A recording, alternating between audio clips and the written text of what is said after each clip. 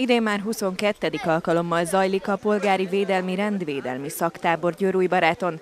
Az egy hét alatt a fiatal korosztály kaphat betekintést a rendvédelmi szervek munkájába, valamint annak fontosságába. Több mint 20 éves hagyománya van a polgári védelmi tábornak, ahol igazán szép festői környezetben a Győrújbaráti táborban, amely idén 40 éves, fogadják rendszeresen a kollégák a gyermekeket. Ez tulajdonképpen egy rendvédelmi tábor, tehát nem csak a polgári védelmet, illetve a tűzoltók munkáját mutatják be a kollégák, hanem minden napra várnak egy-egy társszervtől kollégákat, így a honvédelemtől, tehát a katonaságtól is érkeznek a rendőrök, voltak itt hétfőn, a mentős kollégák is bemutatkoznak egyik napon, és emellett természetesen olyan programok is vannak, amelyekben a gyerekek szabadabban, lazábban, kötetlenebbül érezhetik magukat.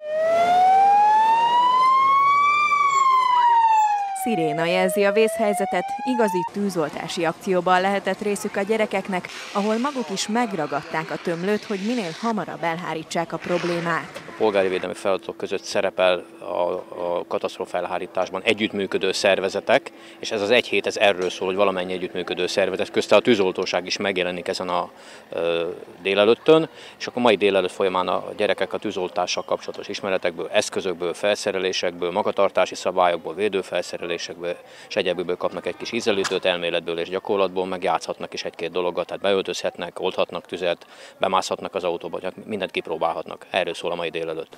A szervezők ez alkalommal is változatos programokat állítottak össze a hétre, hiszen fontos, hogy már minél fiatalabb korban megismerjék a gyerekek a rendvédelmi szervek munkájának fontosságát, valamint minél többet tanuljanak a bűn és baleset megelőzésről. Nagyon elmentünk az elektronika felé, nagyon sokat nyomkodják a gyerekek a telefonjukat, ülnek a számítógép előtt.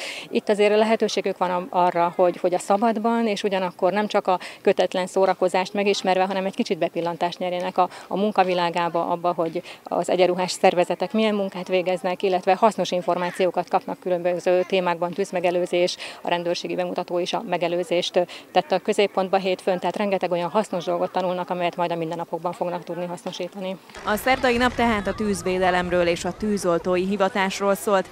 Őket csütörtökön a honvédség, pénteken pedig a mentősök követik majd a népszerű táborban.